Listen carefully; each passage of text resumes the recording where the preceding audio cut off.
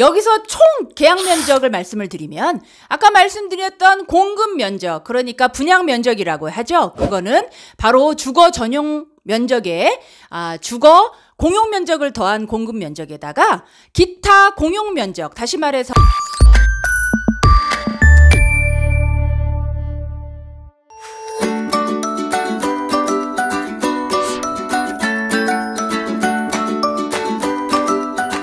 이번 정차할 곳은 광명사거리역 10번 출구 광명사거리역 희웅부동산입니다.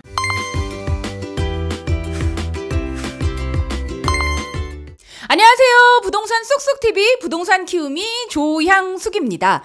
4월이 벌써 중반을 달려가고 있는데요.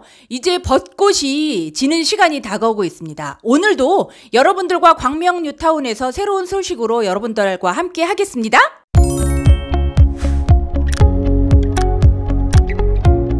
오늘도 광명 뉴타운에서 부동산 키우미가 함께하겠습니다. 오늘은 재개발과 세금 소식이 아닌 다른 소식으로 여러분들 함께 하려고 하는데요. 아, 광명 뉴타운은 광명 14구역, 그리고 광명 15구역, 그리고 광명 2구역이 현재 조합원 동호수 추첨을 끝내고 공급 계약서까지 모두 작성한 구역 중에 하나죠. 그리고 곧 있으면 광명 1구역은 이제 고, 공급 계약서를 작성할 예정에 있는데요. 공급 계약서를 보시면 우리가 알쏭달쏭 하게 생각하는 아, 아파트 계약 면적에 대한 부분이 있습니다. 오늘은 그래서 그 면적을 구분하는 방법에 대해서 함께 알아보려고 하는데요. 아파트 면적을 알아보기 전에 일단 먼저 면적의 단위에 대해서 알아보려 할 텐데요. 아, 우리가 기존에 사용하고 있었던 평에 대한 내용이 법정 계량 단위 사용 의무화로 2007년도에 제곱미터로 바뀌게 됐습니다. 그래서 기존 한 평은 3.3 제곱미터로 여러분들께서 알고 계시 보시면 될 것 같고요. 건물 면적이 어떤 면적에 있는지 광명 뉴타운 광명 2구역의 공급 계약서를 예시로 들면서 오늘 제가 설명을 드리도록 하겠습니다. 건물 면적에는 주거 전용 면적, 그리고 주거 공용 면적, 그리고 공급, 분양 면적이 있고요. 그리고 기타 공용 면적, 그리고 계약 면적이 있습니다. 우선 전용 면적에 대해서 말씀을 전해드리면 주거 전용 면적, 주거 전용 면적이란 아, 각 세대, 그러니까 독립된 사용 공간으로 사용하고 있는 호실에 대한 면적인데요.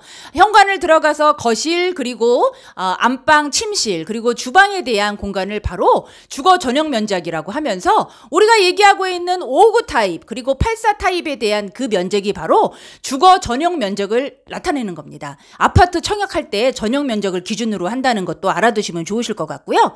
그 다음으로 주거 공용 면적이 있습니다. 주거 공용 면적은 어, 바로 어, 각 세대에서 분리된 복도 그리고 또 승강기 그리고 또 계단을 이용하는 다른 세대와 공동으로 사용할 수 있는 그 부분을 바로 주거 공용 면적이라고 하고 있고요.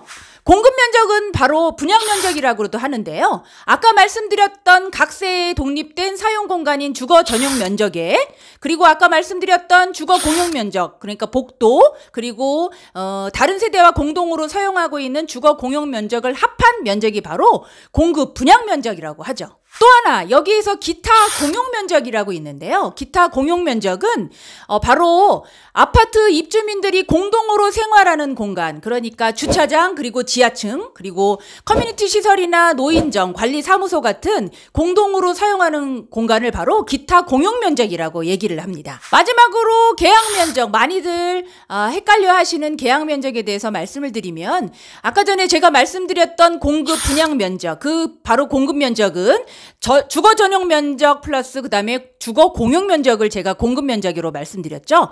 거기에 좀 전에 말씀드렸던 기타 공용 면적을 더한 바로 면적이 총 계약 면적이라고 하고 있습니다. 그래도 알쏭달쏭하시죠? 다시 한번 설명드릴게요. 분양 면적인 공급 면적은 전용 면적, 그러니까 내가 현관을 들어가서 내가 사용하는 실사용의 전용 면적에다가 주거 공용 면적으로 계단과 승강기가 해당되는 그 면적을 더한 그 면적이 바로 분양 면적이 되는 거고요. 여기서 총 계약 면적을 말씀을 드리면 아까 말씀드렸던 공급 면적 그러니까 분양 면적이라고 하죠. 그거는 바로 주거 전용 면적에 아, 주거 공용 면적을 더한 공급 면적에다가 기타 공용 면적, 다시 말해서 입주민들이 전체 사용할 수 있는 공간, 커뮤니티 시설, 그 다음에 주차장, 이런 것들의 기타 공용 면적을 더한 총 면적을 바로 계약 면적이라고 말씀드릴 수 있습니다.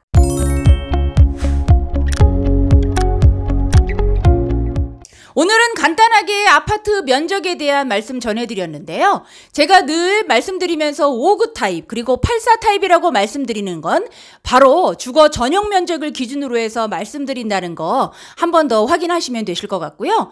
광명 1구역이 조금 있으면 어, 공급 계약서를 작성하게 될 겁니다. 그래서 공급 계약서를 보시면서 아 제가 지금 말씀드렸던 아파트 면적을 한 번 더 떠올리시는 시간 만드시길 바라겠고요. 오늘도 광명 사거리역 10번 출구에 있는 부동산 쑥쑥TV 광명 사거리역 키움 부동산은 여러분들과 함께 있고요. 아, 이제 봄 소식과 함께 여러분들과 또 새로운 소식으로 다가오려고 하니까 다음 영상도 기대해 주시길 바라겠습니다. 구독과 좋아요, 그리고 알림 설정 늘 잊지 마시고요.